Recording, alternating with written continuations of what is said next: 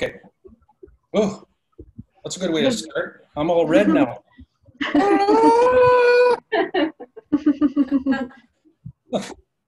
okay. Alrighty, so if we're good to start, then I'll just go ahead and kick it off. So, hi everyone, my name is Claire Buchanan, and I am an ambassador with the Couchiching Conservancy. Uh, thanks for joining us for the Diverse Passion of Photography webinar with Arni Stinnissen. We would like to begin by acknowledging that the land on which we gather in is in the territory of the Haudenosaunee, Anishinaabeg, Wendat, and Métis peoples. Their territory is covered by the Upper Canada Treaties, and we are all treaty people. This is the last webinar as part of our 2020 Adapted Passport to Nature program. All of the webinars we hosted this year were made possible because of our wonderful sponsors. Um, Arni, is it possible you could switch to the next slide, please? Oh, okay. Yeah. You have the, yeah, there you go. Perfect, thank you. Uh, please consider supporting these businesses. All of them are local and are doing great work to protect nature. And next slide again, please. Uh, before we hop into the presentation, we ask for you to stay on mute and to keep your cameras off just so that there are no distractions while the presenter is speaking. If you have any questions during the webinar, please write them in the chat box and make sure to send them to the Couchiching Conservancy. And then next slide again. Um, if you haven't already done so, we recommend changing your view to speaker view so that you can see who is talking on the full screen. If you are joining from a computer, you need to click the button that says speaker view on the top right hand corner. And uh, there's a little infographic here on the slide that displays that with the red circle around it. Um, and then next slide again, please. If you are joining by an iPad, uh, you need to select the switch to active speaker button that's located on the top left-hand side of the screen. If you only see the presenter and not the shared screen, you will need to select the presenter screen that is shown on the bottom right-hand corner. And then there's two more infographics there just displaying that. And next slide, please. The Conservancy is a nonprofit, non-governmental land trust with the help of thousands of supporters like you. We have been able to protect over 13,000 acres of natural areas in the Couchiching and Severn region. Hundreds of, hundreds of volunteers help us care for the nature reserves through citizen science monitoring, trail maintenance, and more. Next slide. This is a map showing all of the nature reserves that our community of supporters help protect in the region. Many Conservancy-owned nature reserves are open to the public, with a total of 13 kilometers of hiking trails. We have just acquired two new nature reserves, which are the Taylor property and the Whitney property. Thank you, thanks to our supporters. Next slide. Perfect. So our presenter for this evening is Arni Stinnissen. From a very young age, Arni has been a naturalist who has great admiration and respect for nature.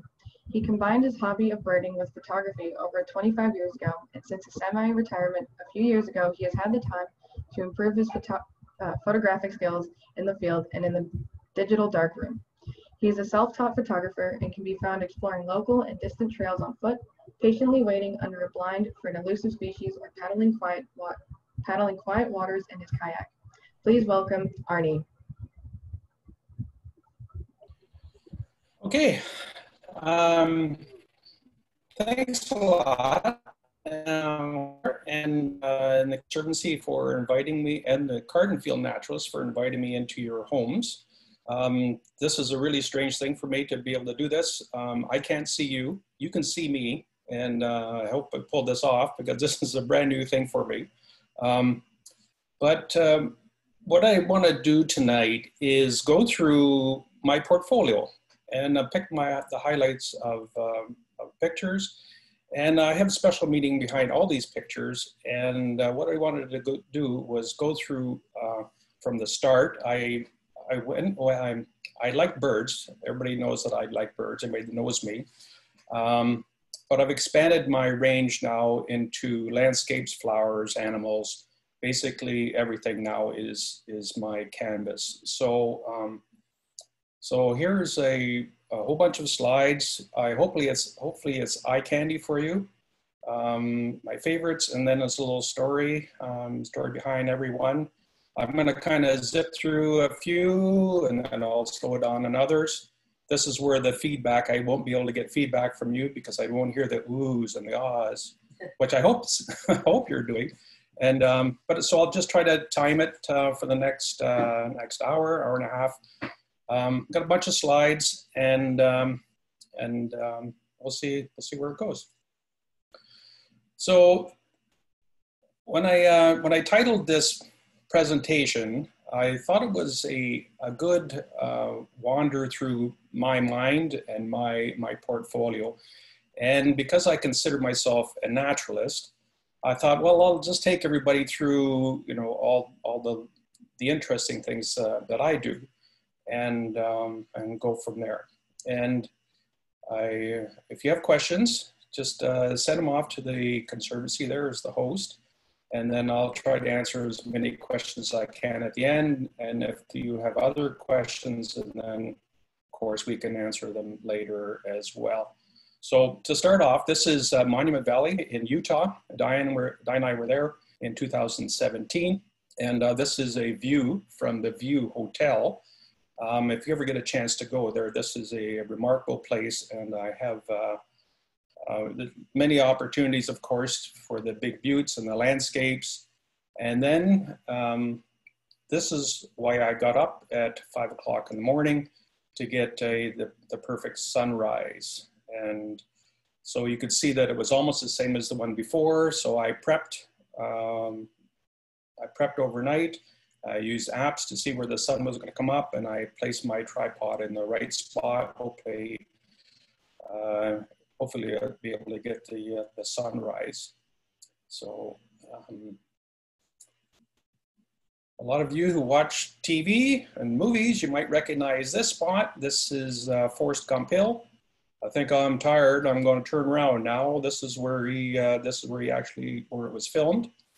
And uh, so this was in my list, my bucket list of places to go.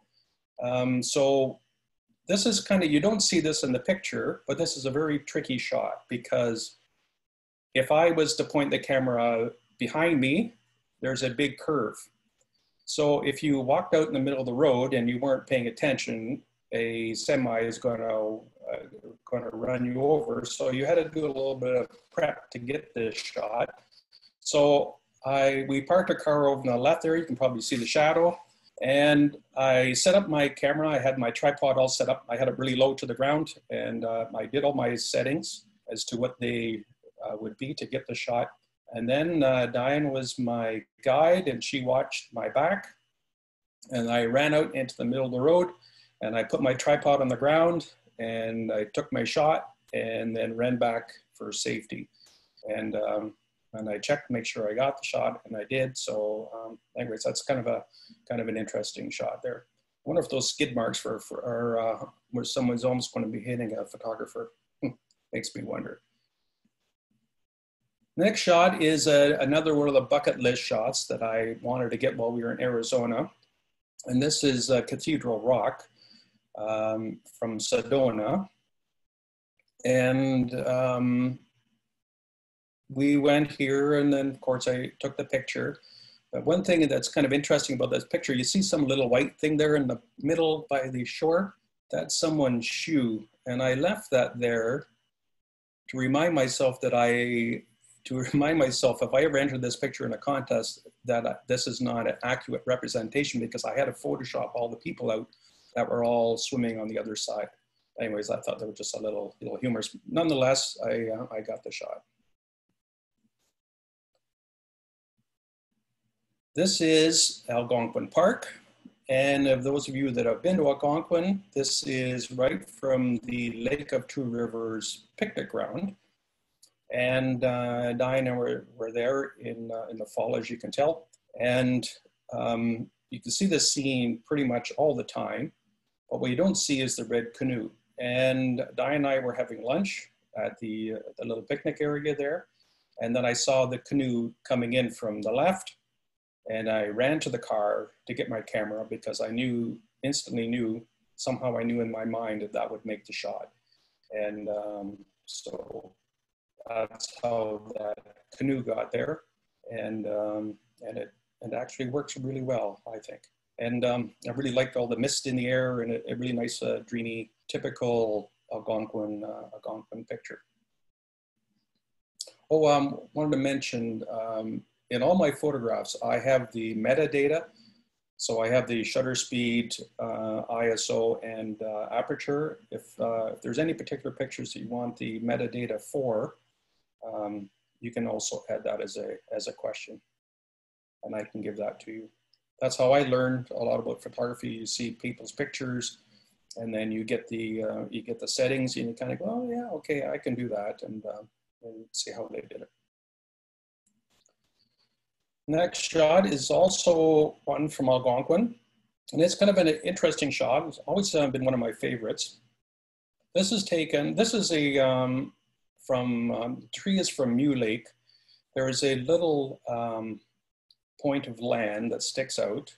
And those of you who've been there, you, you may recognize this little tree that's there struggling for life.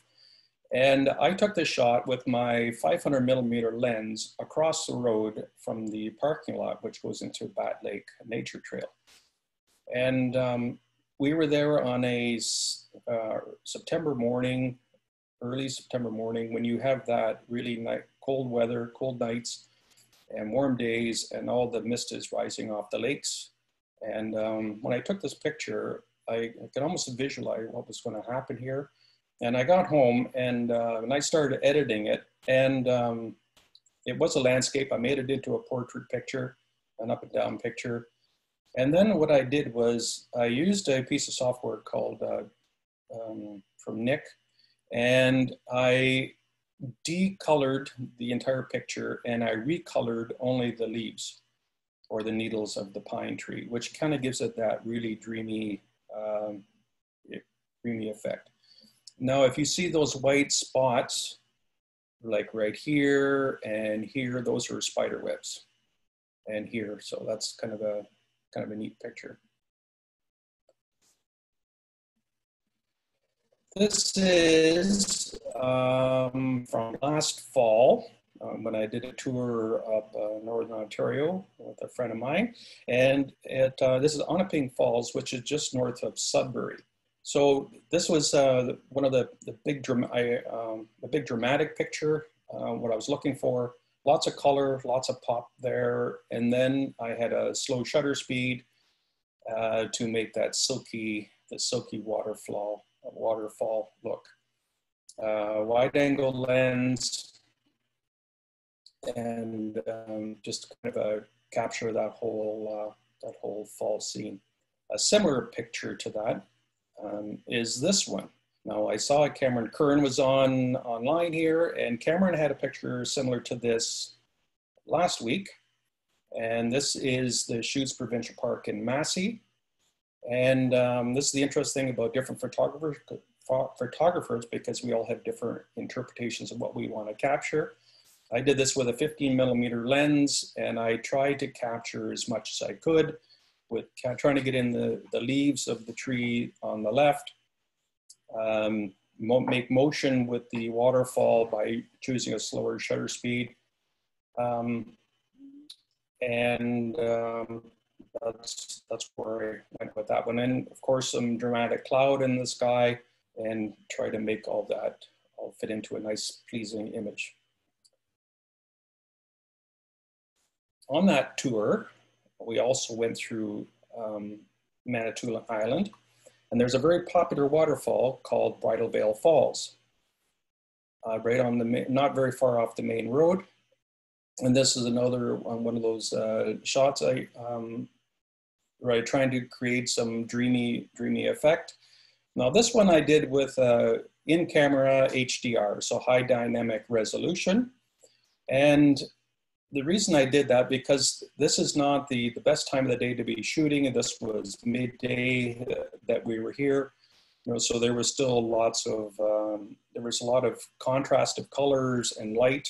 Um, but I, I, took HDR, which allows us to do different ranges of colors and light. And um, I did that in the camera, so I was able to come away with a, a pleasing image. So the um, a regular picture that I was taking from this, the, the trees were washed out and then the waterfalls were, were too light or, or was, was the opposite. You know, if I tried to expose for the trees or the blue sky, and then it didn't work for the waterfalls, you know. So I did a HDR uh, and this one and that, worked out. And if you look down below here, you see all these little black dots. These are salmon, Chinook salmon, that are, are intending to jump that waterfall. And while we were there, we didn't see anybody very successful. Um, and uh, they probably breed in the creek here. But they just all instinctively try to go up as far as they can. Anyways, that's uh, Bridal Veil Falls. And it's a different pose too, you know, like it's not a head-on uh, a waterfall shot and it's uh, to the side, which kind of gives it that nice, you know, so you can almost look like you can walk behind the waterfall. Another waterfall, this is the last waterfall that I have, or water shot. Um, a landscape one anyways. This is uh, High Falls in Kap-Kig-Iwan Provincial Park up near Englehart. So this is another midday shot and I used a uh, neutral density filter. So I could take this picture at 30 seconds. So this is uh, 30 seconds of light coming in, but it's really neutralized because I, I wanted to um, really create this feeling of motion and you can see that and and if you're if you were if you're if we were able to look at a bubble in the water we would be able to follow it. So what that long exposure does is it follows you know these little bubbles and it just makes trails and trails of them. And then um, as i was doing that i i um, when i go to waterfalls now and rivers and i look and i uh, scope them out for a picture i always try to look for little whirlpools. And then that little whirlpool is uh, created here in, in this picture. And um, so I, I have an eye for that now, and, uh, and you can do that with neutral density filters. So this is 30 seconds. And um, so it allowed me to create a picture in the middle of the day and um, with a very slow shutter speed and create this sense of motion um, in, in the river.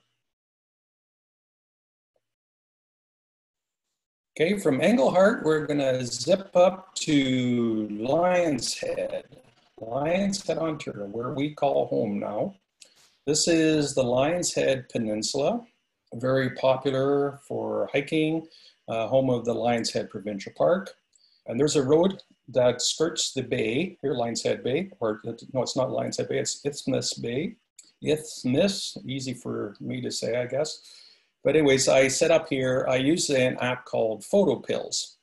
And this app tells me when the sun is gonna go up or rise and when the sun's gonna be uh, going down or when it's gonna come up. And it allows me to make strategic decisions on where I'm going to stand for a picture.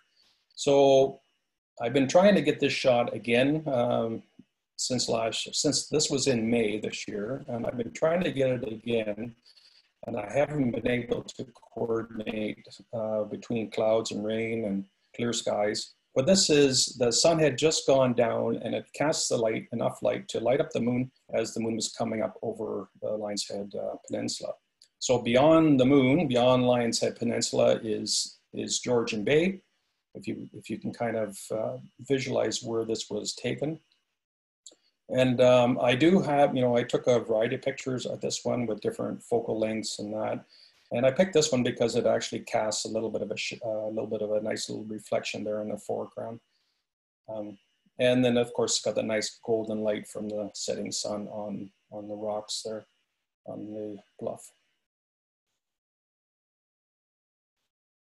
Most people would recognize this, uh, this particular site. This is uh, Flower Pot Island. And I picked this one just to just just to illustrate Flower Pot Island, and uh, know, it is possible to get both flower pots that exist on in one picture. And I have to confess that I did uh, rub out quite a few people for this picture. It is a very popular now, and um, so there's people all over the place. And uh, so just painstakingly uh, Photoshop everybody away, and then I come away with kind of a what I think is a pleasing image with the colors of the Georgian Bay and the and the nice blue blue waters. Also, in, uh, in Bruce Peninsula National Park, you might have heard of a, a, place called the Grotto. Very busy as well. It's so busy that they have time parking now. You, you only have four hour slots to be able to park. and um, that was because it just insanely busy and uh, now it's limited to a certain number of people. And um, it actually with the pandemic this year it was uh, it was very busy as well but they they reduced capacity again by another half. So it was very rare to get in there uh, to to see the grotto. Anyways this is inside the grotto. So if you've ever been to the grotto you probably would have been visiting up here. You would have seen it from this vantage point, and then it would have been all dark looking into the grotto here. But this was last um, last year, not this past winter, but the winter before when Georgian Bay froze over, and we were able to walk out on the ice and then walk into the grotto. And uh, for the bird lovers uh, in the audience, uh, have you know that pigeons are uh, pigeons live in the grotto they're here all the time. They're in all various caves along the along the coast. And then so I had to be very careful, not only with my footing in the ice here, not to fall over, but not to sit in pigeon poo, because there was a lot of it in here. Anyway, so this is a picture inside looking at, at the grotto. Sad to say, this is coming soon to uh, areas near us and you, depending where you are. Um, out driving, the, um, we we're on the in where I live. There is uh, really long, uh, big, wide, flat areas, and the winds howl, and we get lots of snow. And um, I try to I try to the technique of minimalism. You know, so you take an object and you kind of minimalize it in the frame and still tell a story. So this was, uh, we have many opportunities to do that here. So um, anyways, this is just on the road to our house and I just framed it so that one tree was there and you can still see the little bit of a fence and you can kind of see a little bit of a forest in the very background. But anyways, it's just kind of a little solemn picture um, that I enjoy.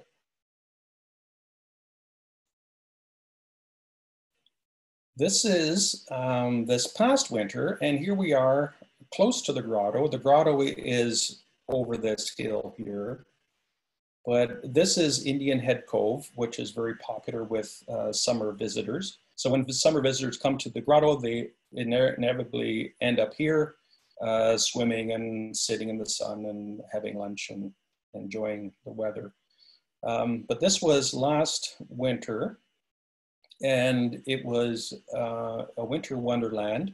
Right, almost from the beginning, we had uh, uh, terrific winds, and then it froze, and which froze all the trees, as you can see, and it created a uh, a really nice winter wonderland for for photography. And um, I made, uh, I think, about five or six trips here. Um, I made it here uh, when it was uh, when it was cloudy and it was just um, and I just couldn't get a picture out of it. So um, I vowed that I would go back when it was sunny, just so that we can get some more uh, contrast in the picture. Um, so Di and I made a trek back in, and um, it um, it worked out really really well. Um, I, a little funny story about being here. I got a new Apple Watch, and the Apple Watch has a alert on it. It tells you if you fall, it, it calls emergency services and, and it asks you, did you fall? We detected a fall. Are you okay? And then you have to tell the watch, yeah, I'm okay. Anyways, this is the first time that uh, the watch actually worked. Well, it actually um, told me, hey, you fell because I did fall. I fell on the ice. I fell on my butt. So, um, anyways, I'll uh, I'll remember that for a long time. But anyways, here lots of icicles, really, uh, really powerful picture, I think. This is the Lion's Head Lighthouse. This is what it looked like uh, October 31st, to, uh, 2019. So this was a uh, terrific wind.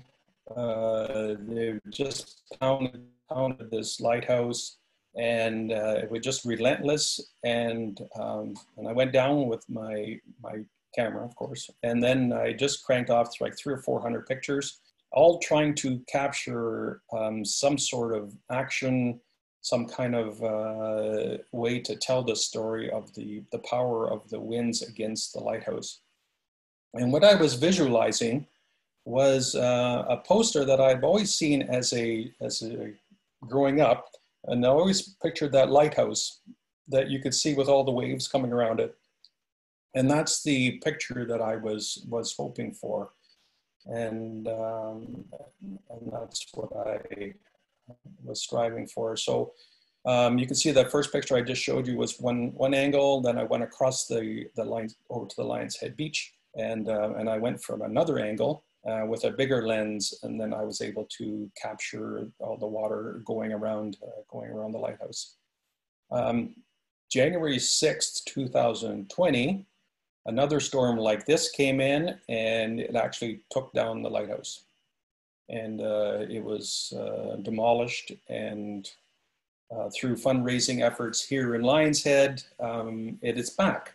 So they, they moved it uh, a little farther inland. It's pretty close to where it was. They made a sturdier outside and um, it's exactly, uh, it looks exactly as it does now and uh, let's hope that uh, it survives more onslaughts. This is probably due to the, um, the, the, high water levels of, uh, of the Great Lakes, and there's so much more water to, to throw at, uh, at, at the shoreline, including lighthouses. Now we're going to go for a little journey across the ocean. And naturalists do like uh, iconic things too. So you probably recognize this, this tower. This is a, the Eiffel Tower, of course, and uh, Di and I were there in 2016. And um, I have uh, three night shots here to show you from, uh, from our trip there. And um, when I plan a picture, it's uh, largely from other people's ideas. So other people have a um, have a thought, and I go, well, I can I can try to do that as well. And then you just kind of put your own twist onto it. And, uh, you know, so um, this is an idea that was, uh, that someone gave me.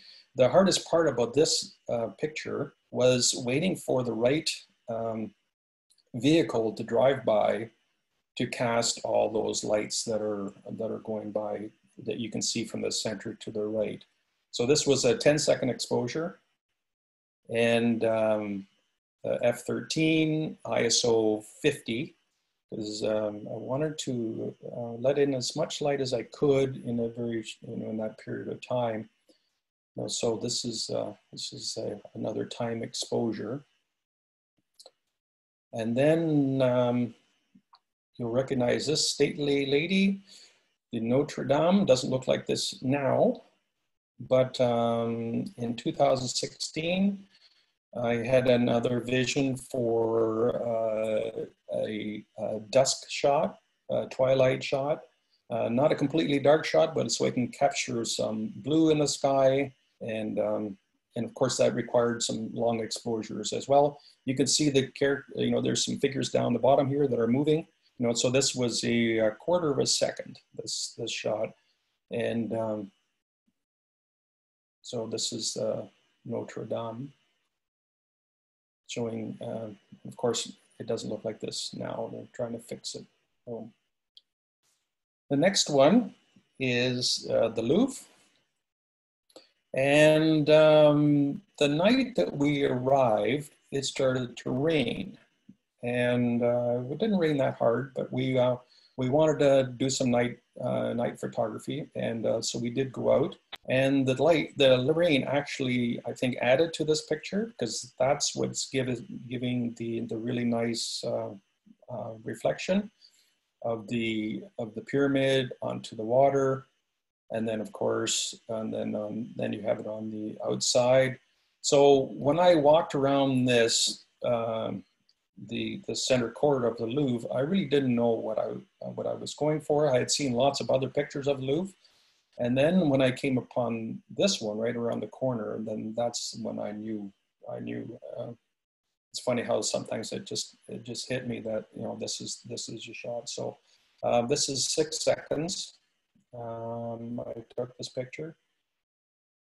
And you can see that, uh, and there wasn't many people here, you, but if you look, you can see there are a couple of people over here, and there's people over here, and then there's a bride, actually a bride um, with a photo shoot with, uh, with her other photographers over here, which kind of, uh, they kind of dissolve into the picture and, and almost add to the picture.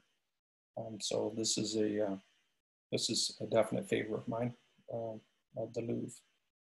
So back across the ocean, down to South America, and um, to Diane's uh, 30th anniversary uh, trip. So we took a trip to Peru on a, uh, a guided tour.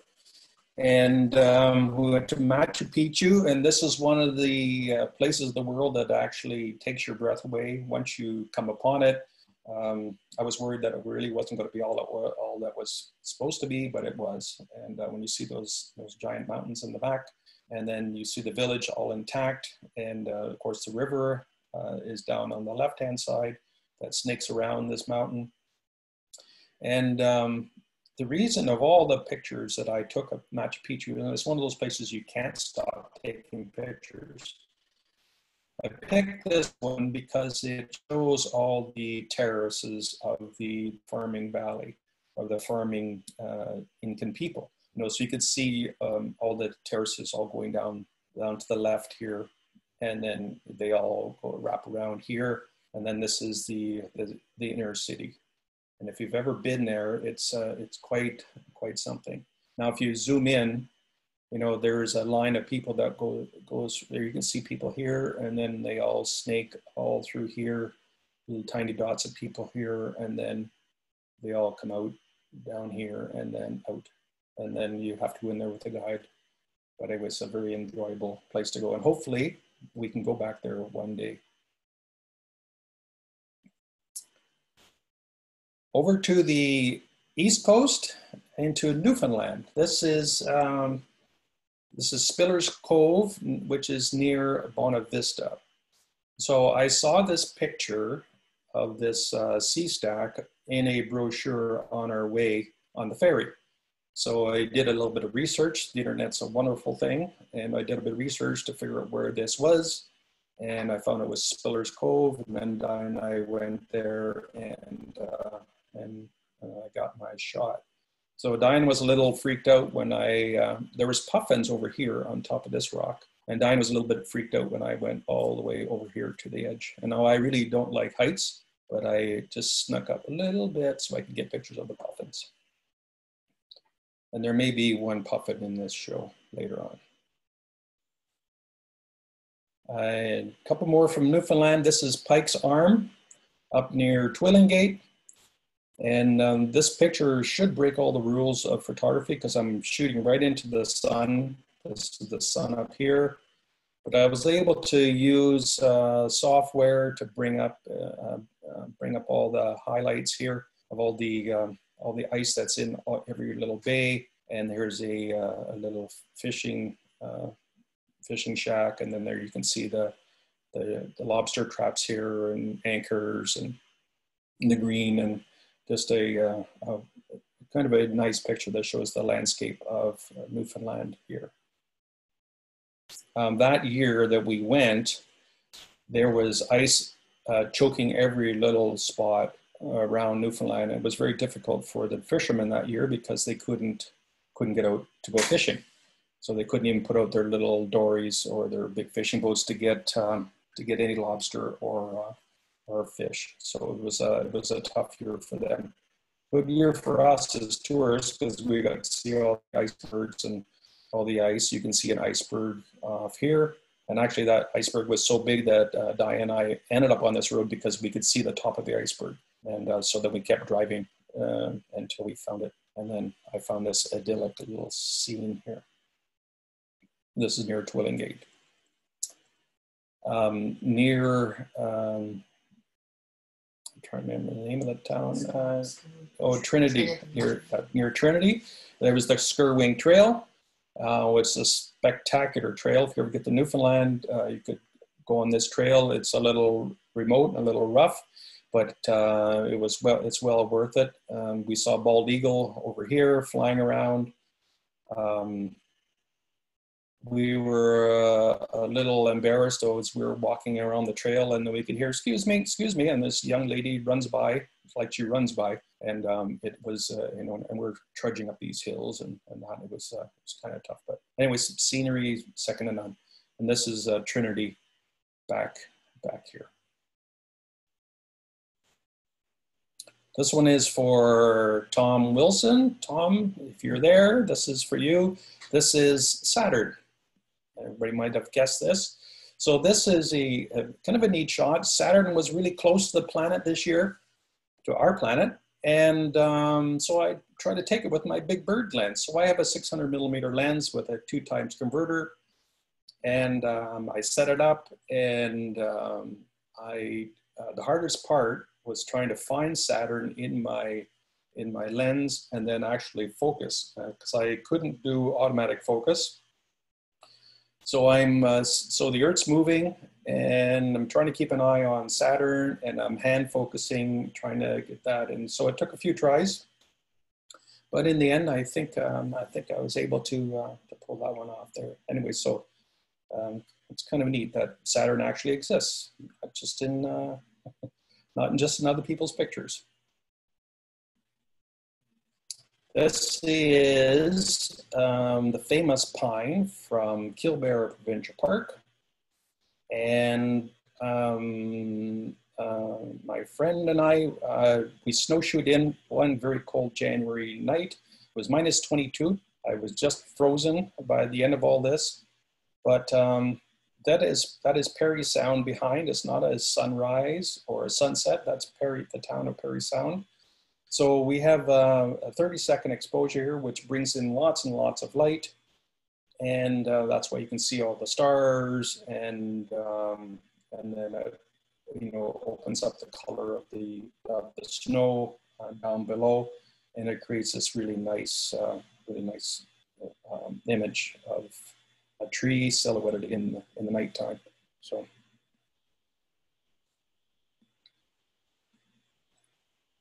This is perhaps the highlight of my uh, year this year. Um, I couldn't have been happier when Comet Neowise appeared in the sky. So I was out uh, almost every opportunity. And um, so at the beginning of the year, Neowise was uh, appearing in the morning sky in this in the in the east. So you had to get up at four and wait for sunrise, and then um, Comet Neowise was surely slowly showing itself, and then you had you know 45 minutes or an hour before the sun popped up, and then it was gone. And then um, Neowise wanted started appearing in the nighttime. So um, Diane and I, uh, we met our daughter up at the uh, at the very end of Highway 6 there in Tobermory at the Gap, if people know the Gap is.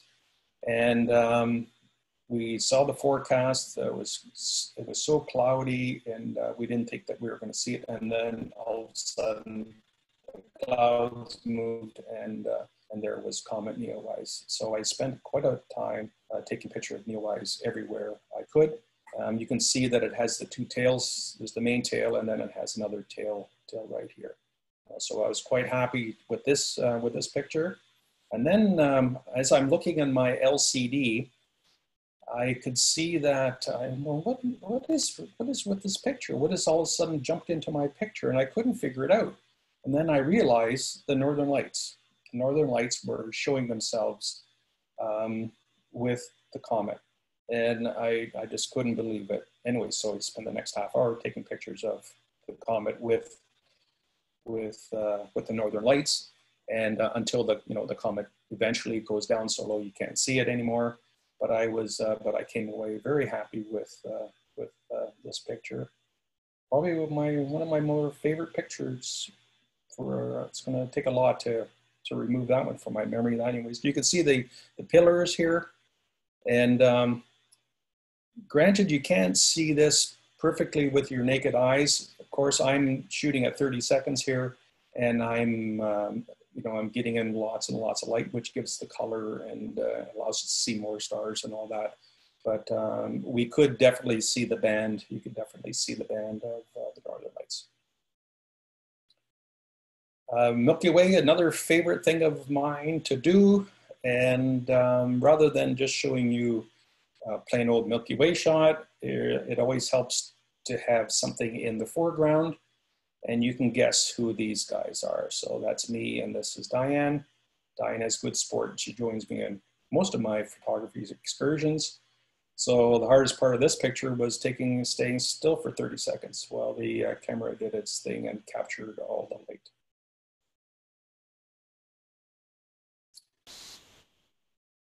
The other, uh, the other, this is my brother's place up on uh, St. Joe's Island and uh, a nice rickety old barn. And our timing was perfect. One year we went up there and um, to see, you know, and I was able to, again, using an app, I was able to uh, plan where a Milky Way would be and uh, right over top of, uh, right over top of their barn. Okay, um, moving on to flowers. And um, so these are wood lilies. And I picked this one because there are three of them, so that's uh, kind of nice. And uh, just to go through the flowers here, um, flowers seem to have more impact when they have water on them. And uh, they really, really pop. And um, taking pictures of flowers is not an easy thing to do because uh, uh, you have all the light um, to worry about. You've got um, wind. Um, it's usually dark. Um, sometimes it's too sunny. So there's a lot of things to consider when you're taking pictures of uh, flowers. This is a dwarf lake iris, uh, a species of concern here uh, in Canada. This is a, a, lady slipper, and I can't believe the lady slippers up here. They're just like they're just like weeds here. There are just so many of them, and um, we have Indian paintbrush behind. But you can see that you know the fine detail of this flower. You got some nice uh. And of course, this one's early morning, so it's got a little nice little bit of dew on it as well. So then the question is, if you have a clump of flowers, more impressive, or a single flower.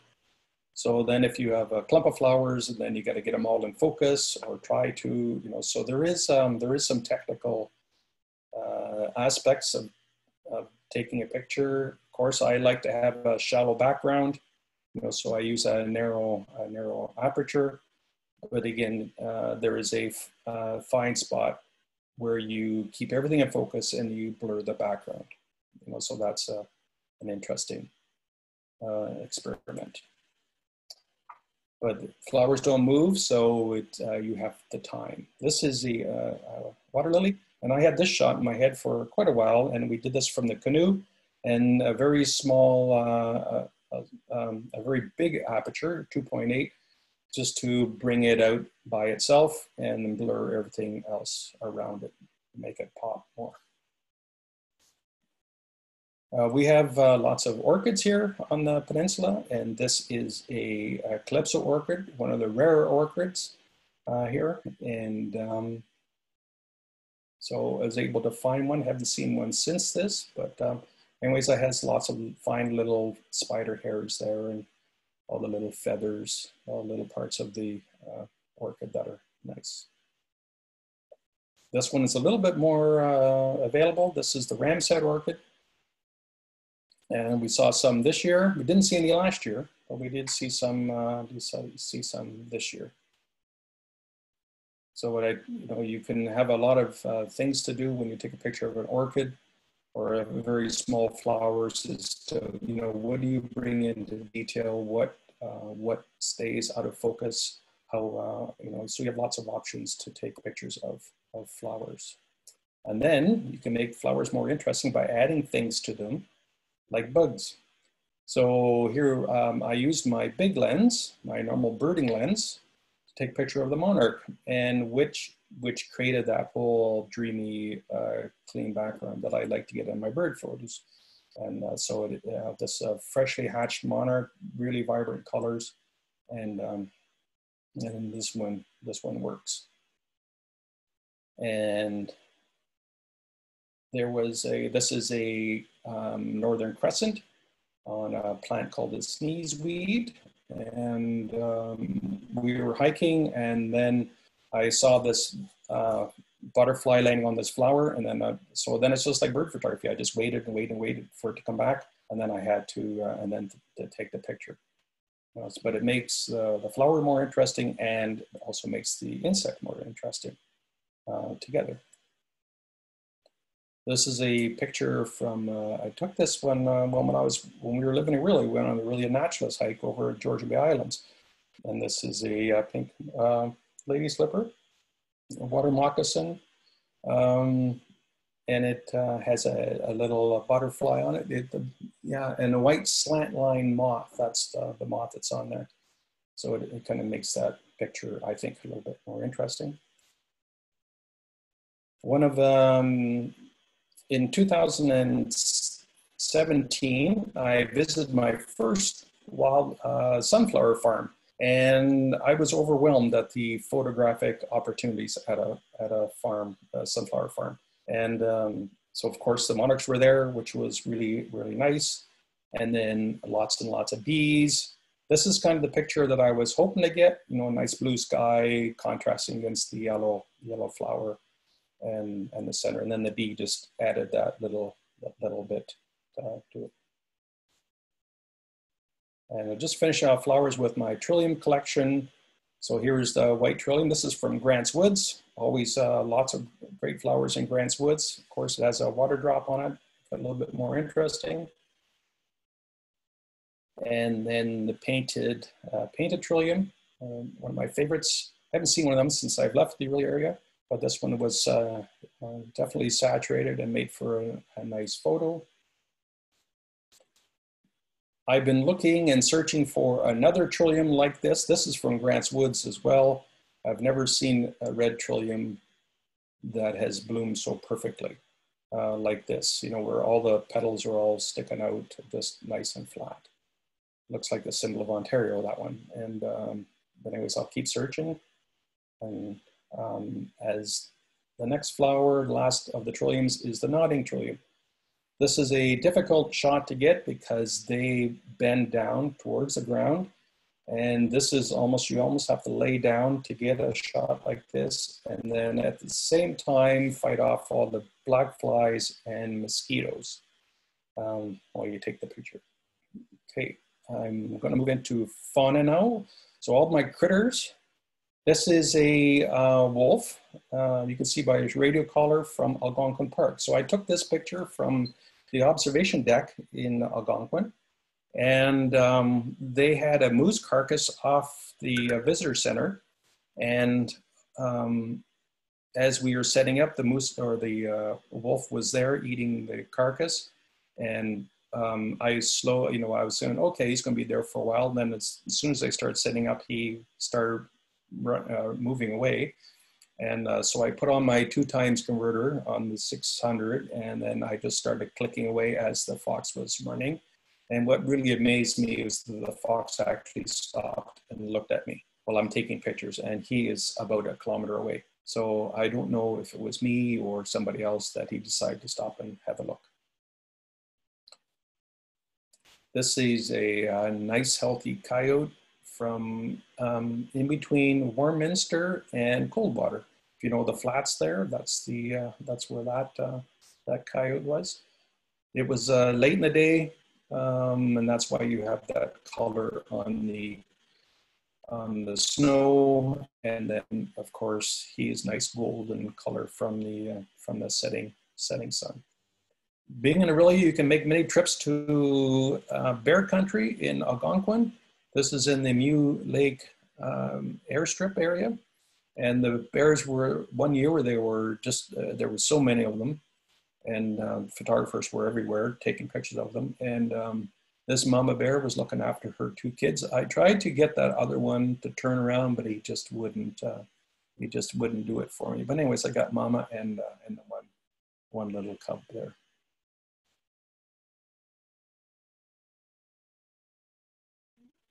This is where handy have a, a big long lens. You don't have to worry about um, bears chasing you. And if you do, you just have to run faster than everybody else. I know that's an old joke. Okay, uh, in Algonquin, moose. I got a couple moose pictures here for you. this is a, uh, a nice morning, early morning. This is like 5.30 in the morning. Uh, moose out there with a beautiful sunrise and the moose out there eating his, uh, eating the water lilies. Just a nice, uh, peaceful, peaceful scene.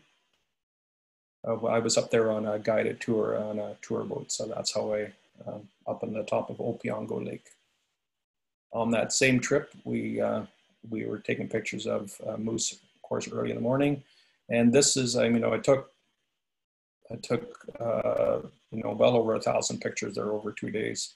And um, this is basically what I was looking for, a, like a moose uh, eating water lilies and then uh, lifting its head up and all the water uh, falling down. It, it uh, to me, it creates a really nice uh, story and action of what, what's going on.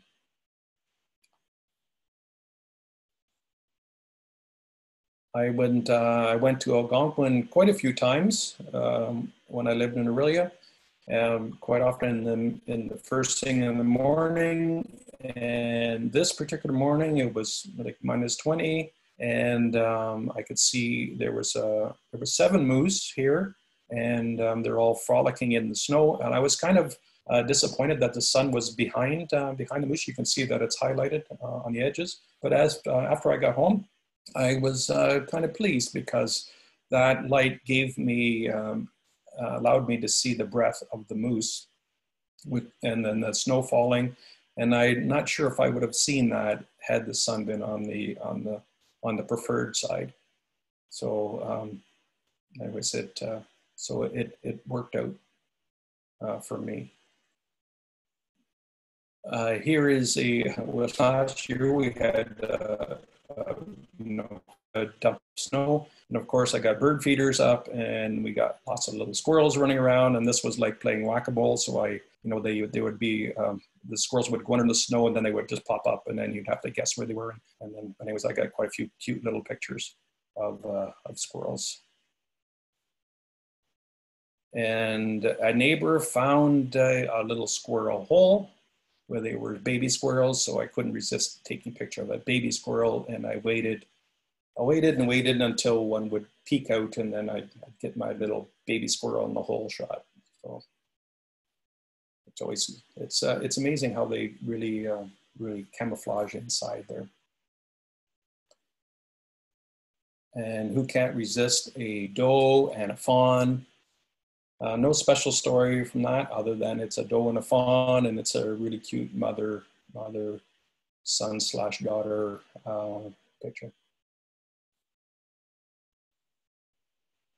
Algonquin also has uh, pine martens that people like to photograph. And um, we were hiking and then we saw one on our trail in front of us. So he kept looking at us. And then so until he finally went up into this little tree so I had my camera on my tripod and I just went ahead, slowly took a picture, went ahead, slowly went ahead until I finally could get into a position where I could see him. I don't know if he's not happy with me or not, but I picked this picture because of his little, little teeth, his little, uh, little look on his face. Last year, Di and I were, uh, we were down at a local wetland and um, there was a beaver and he's scared. He slapped his tail when he saw us, and he scared the heck out of us. And um, so we said, well, okay, well, we won't to see that beaver again. But next thing you know, he pops right up again, and he just ate his little uh, his his little stick there. You can see in his paws there, and uh, he just ate. And I, you know, I was just able to crank off more than enough pictures. And I picked this one because I like his little orange teeth. And so you can see his eyes and his little teeth and his whiskers and. Um, course, the log. Of course, I'm driving around all the time with my camera, and um, there's a there's a, a, river not very far from here, and um, I could see a mink, and he was playing in the snow, and he would go on in the river and then climb around and just. Uh, he was doing uh, little belly slides and running, and so I picked this one because it it actually has him midair. He's actually looks like he's flying, and it's actually in focus. So um, was kind of a kind of a neat, neat picture of a little American um, mink. A little river otter, northern northern American river otter. This was an Algonquin as well. And um, they do have them here. I just have to find one. But anyways, it's another uh, another neat little critter that uh, that I like to take pictures of. Um, Mr. Fox. This was one of the pictures that I, you know, I really had in my head that I wanted to get, you know, a nice fox with lights of, with a beautiful coat uh, in the snow, little nice eyes and uh, just a general, not bad, uh, not bad little portrait. Um, anyways, Mr. Fox. Not far from Brechin is, um, there was a den that a friend had told me about. And um, this was a case of waiting and waiting and waiting for the little fox kits to pop out and pop out they did. And so I get my little cute fox portrait of these, these little guys.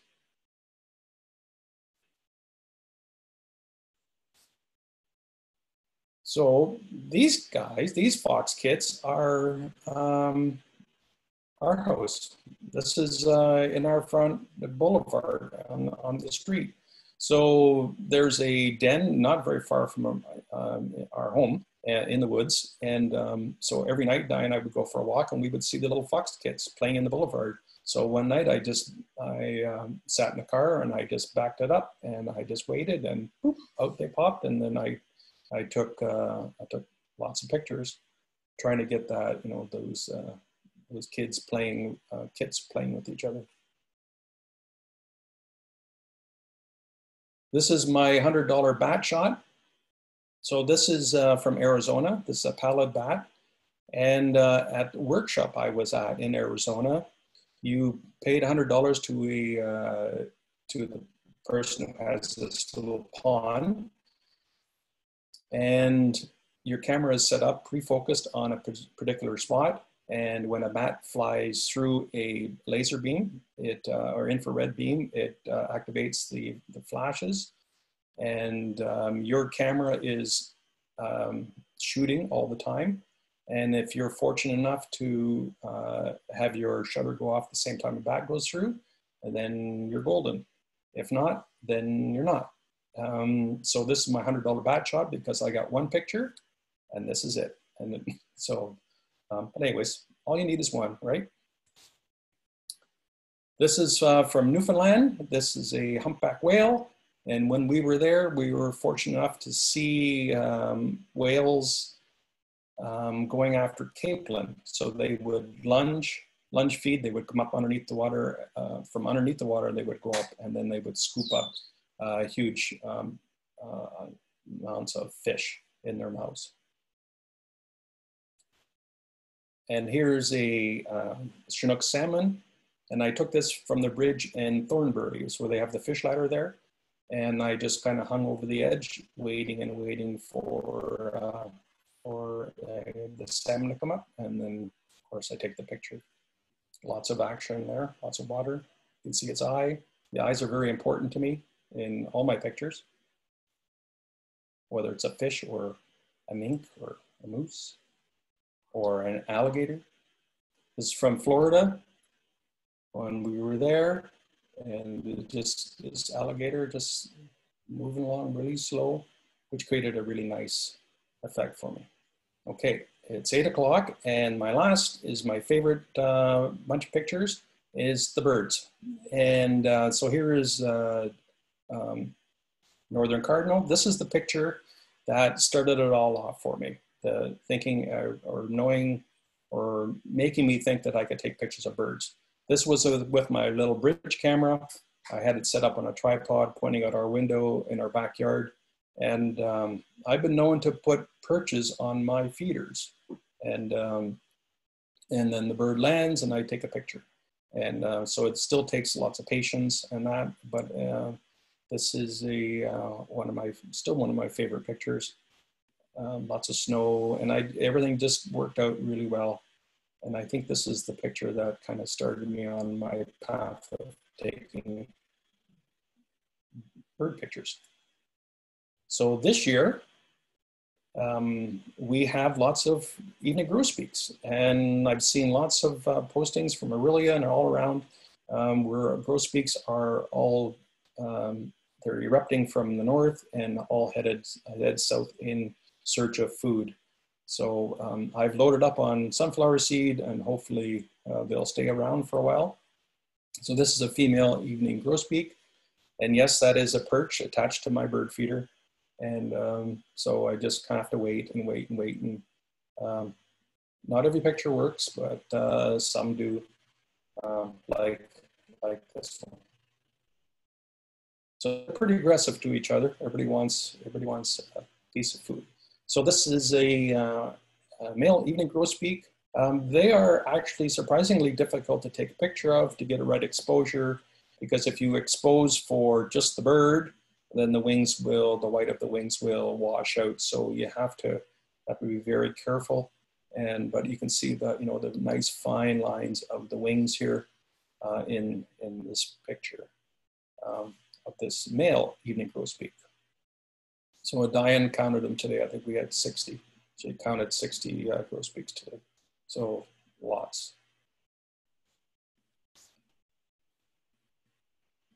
Baltimore Oriole. This is from uh, our home in Orillia. I had uh, Oriole feeders uh, set up and I had a, a attach, attached a, a nice branch uh, from apple tree from our back of our property. And um, so it was a matter sitting on the deck and waiting for the bird to land. Um, all the, you know, most of these pictures, it's, it's patience and waiting and, and uh, grabbing the right pose and uh, looking at the picture of the, you know, the head of the bird and which way it's facing and all those things. Um, this is a common red redpoll, a nice bright male. This is from the Minesing Wetlands. Uh, Diane and I were driving around and we saw this, this whole flock of little red redpolls that were eating these weed, uh, weed seeds. And uh, so I just uh, proceed to click away. And um, this is a kind of a neat picture because the, the, it's got a little bit of a fluff of its feathers it was a particularly cold day to, uh, that day. And the, when we had the window down of the car, you know, we were cold inside the car. So these these feisty little guys are out there, you know, trying to survive and fly in the fly in the cold weather. So common redpoll. Last year in Lion's Head, there's a uh, there was a whole flock of uh, cedar waxwings all uh, attacking the this mountain ash. So uh, again down there uh, waiting and and um, and hoping to get a shot. So when I try to take a picture of a bird, I always try to get the bird uh, by itself. And it uh, it's easy to take pictures, somewhat easy to take pictures of birds in a tree, but not so easy to get it all by itself. So that's why I selected this picture. That's why it's one of my favorites because it the whole scene is nice and clean uh, without any uh, major distractions of uh, branches. Same thing with this uh, Bohemian waxwing picture. This, uh, there was hordes of them in the tree when I was taking the picture, but I was, um, I waited for one to actually fall on, you know, the, to be by itself to, to eat these, um, eat these ornamental crab. By the way, um, you saw a mountain ash on the last picture and a crab apple in this one. Guess what I planted in our yard this year? Yes, apple in one and a mountain ash in the front. So hopefully I'll have these pictures. I'll have my own trees to feed my own birds. This is a uh, male common yellowthroat. And uh, it's just the colors in the background that really, uh, that really do it for me on this one. It, uh, this is uh, in Maine that was uh, they have a plant there called uh, ground rhododendron and uh, anyways this little guy popped up on this little branch and uh, a really interesting uh, color background this picture is a bay-breasted warbler from Maine again and he's eating a, um, a spruce budworm and um, this picture has been used uh, a few times by uh, age, uh, conservation agencies. And what they've used this picture for is to illustrate that birds are important for our economy because they eat bugs. And um, without birds eating bugs, the bugs are going to uh, ruin our forestry products, among other things. So we need the birds, you know, for our economy, and uh, it's just not for for looks. Anyway, so I'm I'm proud that these pictures have been used for for a variety of reasons. This is a golden wing warbler, and it's from the over in the Cowan Trail, uh, where there are a few. Um, um, I think they're still there. Anyways, it just um, just a remarkable little bird, bird that's in trouble uh, for a variety of reasons. And um, this one, uh, it's been used quite a bit of times for from Audubon, and I'm happy that they're using this picture to um, to further their causes for bird conservation. So this, um, that's, I'm happy with that one. And uh, this is a northern parula, and the northern parula is another warbler, a very small warbler, and it uses old man's beard lichen to build its nest. And it was very appropriate that I, I really like this picture from a, um, that it's posed in with old man's beard lichen. It, uh, it, it, just creates a whole nice little environment. And uh, I, uh, when I put together my favorite shots, this one always kind of work, works its way in there because the bird is so colorful, but it's a really nice, uh, I think it's a very nice scene. This little guy, Mr. Scarlet Tanager, he was, uh, he entertained the residents here where we live for about a week. He was uh, not a typical Scarlet Tanager. He, um, he must have liked us because he was here. Uh, we would see him all the time he would be up and down people's driveways, picking uh, picking food, and uh, of course Arni's out there with his camera, uh, taking pictures. Um, I've got so many pictures of this guy, but um, the happiest I am was when they hop on a perch. So um, I have lots of grass pictures, but the more natural picture in my mind would be on a perch. And so when he finally hopped on perch, and everything's in focus, and then I'm a I'm a happy camper. Uh, this is a um, little plover from Wasaga Beach, little piping plover, endangered species. And uh, this was an Arni lay down on the ground shot with his big lens and lots of reach. And it uh, everything else is blurred in front and back because of the aperture, but it creates this cute little picture of a piping plover. And I must have got him really early because he has no uh, rings or bands on his feet. Actually, I have that picture right above my head here on a big, big canvas. Mr. Pileated Woodpecker and his son peeking out the hole. This is kind of an unusual shot where you have them both sticking out their head like that, where the more typical shot is like this, you know, where they're all sticking their heads out and dads come in or mom and dad come in, come in to feed. I like this picture because you can see the eye of all three, all three little babies. I got more pictures of pileated this year, but uh, I still, i come back to this one. This was a shot from this year, a, a uh, northern flicker,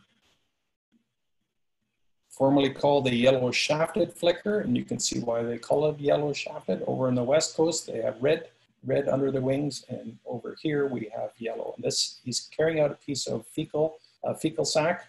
So what I learned when I was researching about this um, is that the baby, baby birds kind of poop in a diaper. And, uh, and then the mom and dad take away the diaper. It's, you know, it doesn't mess up the nest or anything. It just kind of, here it is and there it goes. When I was in that wildflower farm a couple years ago, I heard an indigo bunting.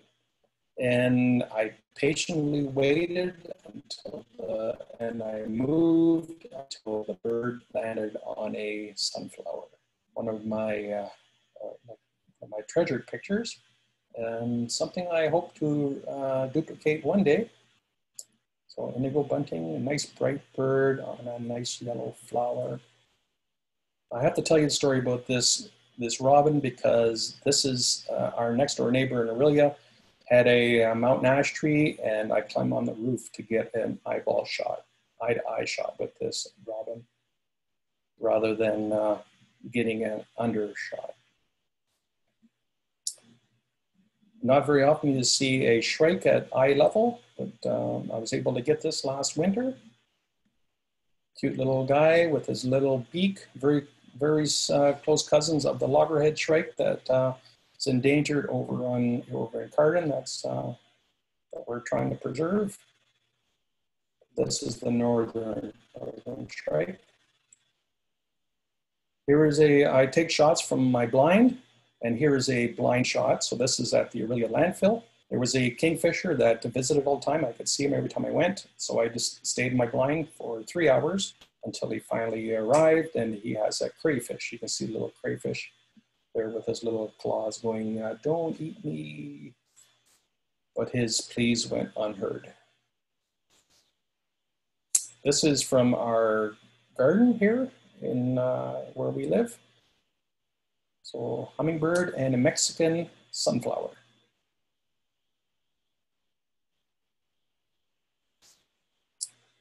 Here's a roadrunner from Arizona when we were down there. And the runner of uh, the operator of the course said, hey, do you want to see it eat a scorpion? And everybody said, sure, why not? And so we got the cameras ready and and there we got to see him do a little flip to do and there goes the scorpion. I just got a few more slides here. I'm just gonna go a little quicker.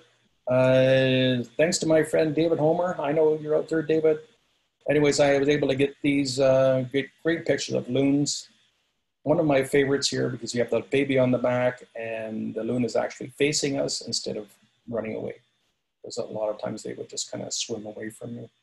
Um, but uh, nice here, parent and parent and chip shot.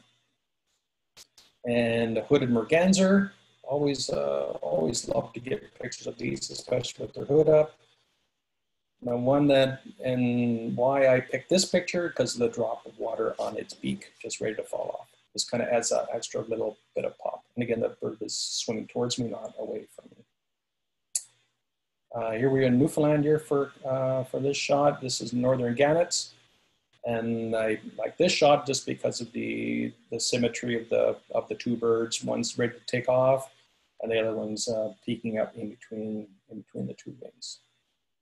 You can see his nicely colored, colored feet, big blue eyes, or the blue rims around his eyes.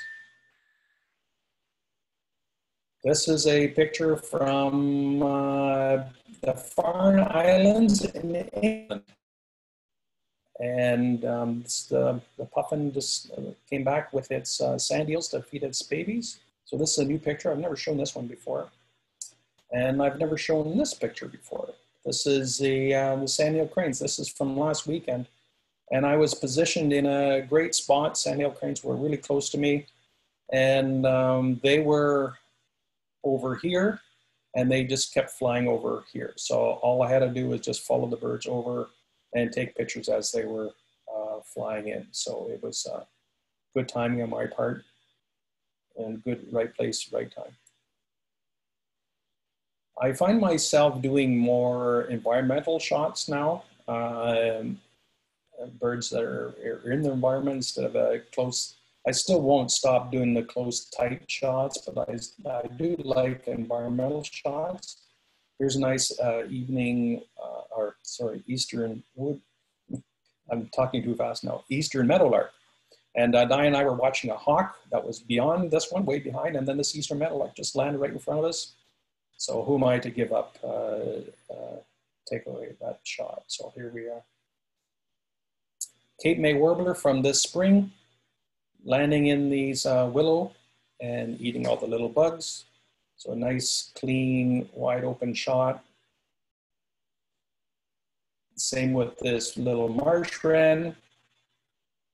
Uh, the Orillia naturalists came up to visit us last year and we went to this wetland and the little marsh wren was singing his little heart out. And um, so it almost looks like he has a little, like he's got stilts or something. But anyway, it was a nice environmental shot. Same with this one. This was uh, last year. I didn't have my big bird lens with me, but I saw this uh, warbler, uh, Blackburnian warbler, hunting through the through the these the small jack pine. So it ended up turning out to be uh, kind of a nice picture because you have this little splash of color, and amongst all the uh, all the of the branches. Similar to this one, here a yellow rump warbler. I took this picture this fall. So he's in his fall colors, but it uh, really nice sunshine shining. This was early in the morning, so you have that nice color, not harsh sunlight, and it, it is a nice environmental uh, environmental picture. Uh, here is a red-winged blackbird, and I really like the contrast, you know, the pop of color with its red epaulets, you know, the kind of the monotone background. Here you're singing, but everybody's seen that.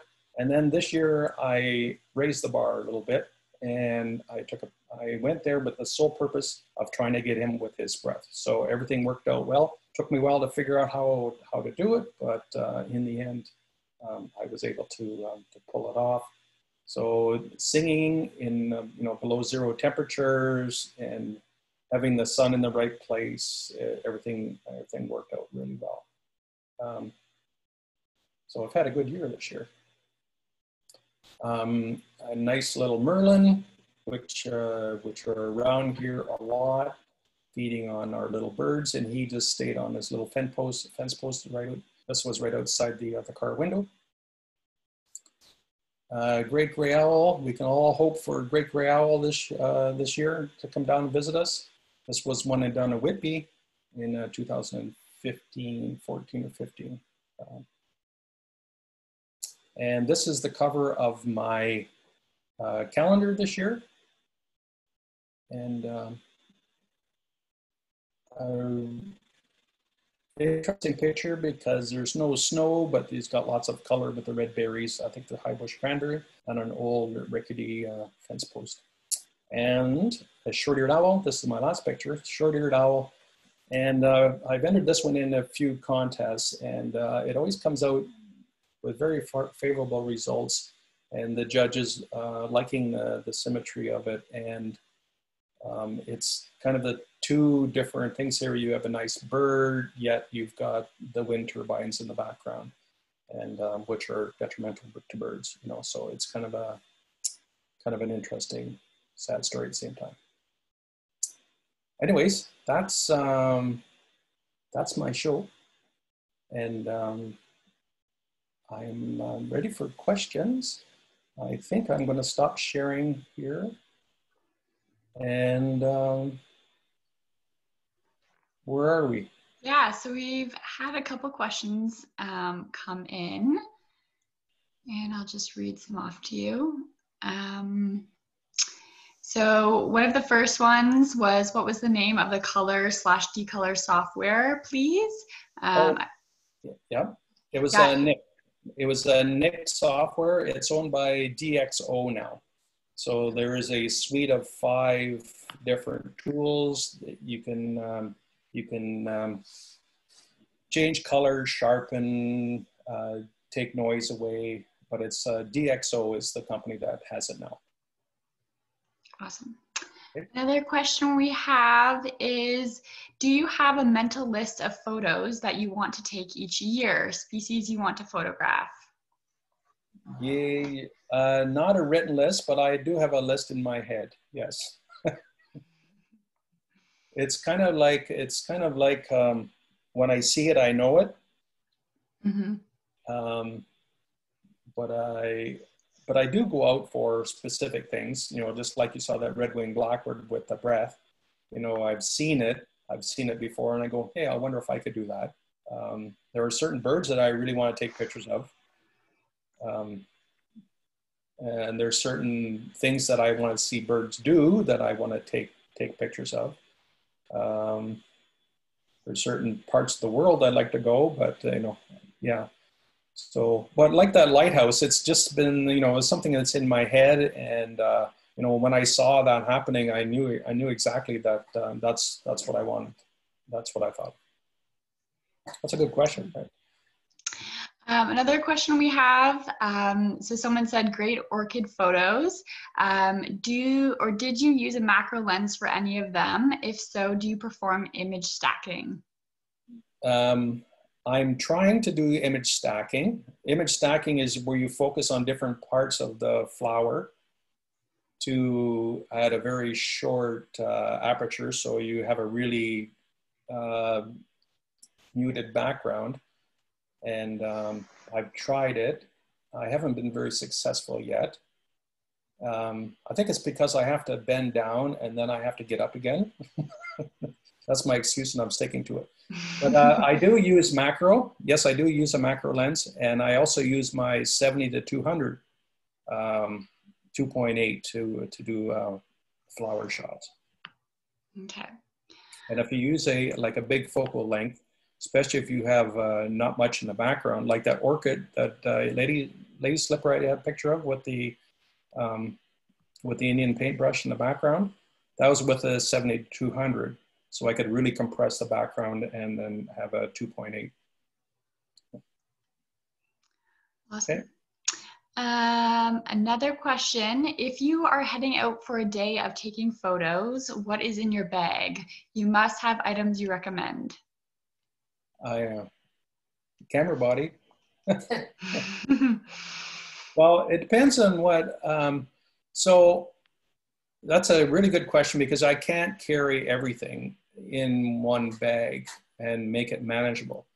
So I'm either going for birds which I'll take the 1 to 400 lens and I'll take my 600 plus I'll take the uh, teleconverters. If I'm going for landscapes or, uh, so this morning I went out for landscapes and I did a, I took a 1740, um, 24 105 and my 70 to 200. That's pretty much my whole lens collection. If I'm going for flowers, I'll do, I'll I'll probably just take my macro and my 70 to 200. Awesome. Um, another person said, I would love the meta the metadata from Machu Picchu, Algonquin red canoe, the wolf from the observation deck in Algonquin, and the red-winged blackbird. Um, maybe too many, so any you choose, please. And I would dearly love to know where you saw the sandhill cranes. Your work is simply amazing. Thank you so much for sharing. So generous the Sandhill cranes were like five minutes away from here. They're all moving. Uh, they're all moving down the uh, the peninsula, and they're going down to. Um, they're all headed south. Um, the metadata. Um, I have to go back into share screen to get the metadata. Is that possible to get the contact name of that person? Then I can send all of them to that person. Yeah, for sure. Yeah. That would be the easiest way. Yeah. Yeah. Um, okay, another question. What picture are you still trying to get? Do you have a bird that has eluded you? Well, the kingfisher, even though I have one great kingfisher, kingfisher picture, um, still like to get more pictures of the kingfisher. Um, I've never seen an orange crown warbler. I'd like to get a picture of an orange crown warbler. I haven't got any really good pictures of Wilson's warblers yet. Um, those are on my those are on my sort of nemesis list for for Ontario. I haven't got a really good picture of a loggerhead shrike from Carden. Uh, that would be on my nemesis list. Uh, I've been okay in the owl department. Long-eared owl, not so not so much. Short-eared, okay um, yeah, so yeah, there's there's always always things to take pictures of. I I'm not a bird chaser, so if a rare bird will pop up somewhere, um, I'm not always going to chase it, but I may. Um, so a question from Dave Hawk. He says, "What is the make model of kayak in your opening slide? Is it stable enough?" Yes, um, I specifically bought that one. It's a uh, it's called a native native craft. Um, it weighs 28 pounds, and um, yeah, native watercraft out of North Carolina. I got it at um, what used to be the Muskoka Outfitters in uh, Bracebridge. Yeah, yeah. Um, hmm? Yeah, yeah, it's very stable. Actually, I think it has a, a tri hull. It's got a um, it's got a center, a flat center, and then it's got a um, and then it's got two hulls like this. So I sit in my camp. I have my camera and I have my extend my legs out the front, and then I have one short one at the front. So I can, uh, I, yeah, it's it's really good for photography. Problem, the only problem is, is that you have to have your canoe or your kayak pointing the right way because you can't turn you can't turn the camera, as Dave probably knows. You can't turn your camera when it's on a tripod. Uh, another question, which is from Cam Curran. He asked, "What was the f-stop of the Great Gray Owl shot?" I'd have to. I'll have to jump back in there to see that. But Cam, I'll send you a. I'll send you a message. Sounds good. Thanks. Okay. um, okay. Another question: What came first, photography or nature knowledge? Meaning, did you know bird ID before getting more into photography? Yes yeah, I consider myself a birder first, and then uh, the photography came afterwards. So um, I see my son is online there. Hi, Mart. Um, we were uh, so we were birders, and then we had kidlets, and then the uh, photography kind of took a back seat because photography, uh, for those of you who are oldsters, you know that you know taking a roll of film of 24 cost you $24 and you had to wait a week to get your roll. So anyways i, I just kind of left it for a while. And then um, when i retired i bought my bridge camera that i took the cardinal picture with. And then that just kind of uh, everything grew from uh, grew from there so I reignited my knowledge or my excitement for birds and uh, and photography so it's kind of a nice union of uh, of hobbies so Diane likes uh, Diane likes birding too, and she can hear better than me now. I just have to teach her how to bird, you know, the bird calls, and um, she knows lots. um, so it looks like one last question. It's from Martin. He says, "Would you ever do a big year?" No, I don't think so. I'm kind of I'm kind of doing. No, I'm not that committed. I I uh, I really should try one, but I don't think so. I don't think I'm kind of doing a I'm doing a what's called a five MR challenge right now. You know, you get to see your birds in your uh, in your um, in your five mile radius, and I've got 140 141 this year from January. But uh, the people that are that are doing it, so Ethan Mellig is 191 and the people down on the east coast or the west coast of Lake Huron, they got 296, and you know, like it's crazy. But. Wow. Yeah, so I think those are all the questions. We just also have some lovely messages coming in. Janet Grant says, Thank you for the lovely show, Arni. We miss you in Orillia. Um, Carolyn said, Thank you for sharing your great photos. Makes me want to get out there and do more. Um, yeah, and those are all the questions. Um, Arni, if you want to pull up the slides again and just show the very last one with some. Oh, yeah, um, I can do that. This one. Is that the one you're? Yeah, you just have to share your screen. Oh, well. I have to do that again. Okay, share screen. There we go you know, if we do this often enough, it'll, uh, it'll, I'll actually know how to do it. There we go. Does that work? Yeah, perfect. All right. And then Claire, I think you're somewhere. Oh, there you are. Okay. Yep. Okay, so uh, this is our last webinar as part of the 2020 Adapted Passport to Nature program. If you missed out on any of our past webinars, you can actually find them on our website as we've recorded all of them. Um, next week on Monday, November 16th, we have a presentation coming up with the Nature Conservancy of Canada, and it will be on a virtual tour of the Cedarhurst Alvar. If you would like to attend, please RSVP to either Tanya or Laura, and both our credentials are at the bottom of the screen there. Um, we would also like to say a big thank you to everyone who donated when registering for this event. Throughout the pandemic, our need for nature has really grown, and we need your support to protect the important and beautiful landscapes we all love to explore. If you're interested in helping to protect nature in the region, you can definitely visit our website to make a donation. Thank you to everyone for attending and a special thank you again to Arni for sharing his passion for photography. thank awesome. you, Arni. Yeah, thank, thank you. you. I could I could feel all that those positive vibes coming through the uh, coming through the internet. Thanks, Arni. It was great to see you.